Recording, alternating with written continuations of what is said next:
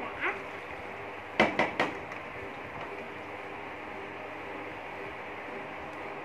là nó đã Wow. Cái này ghẹ mà.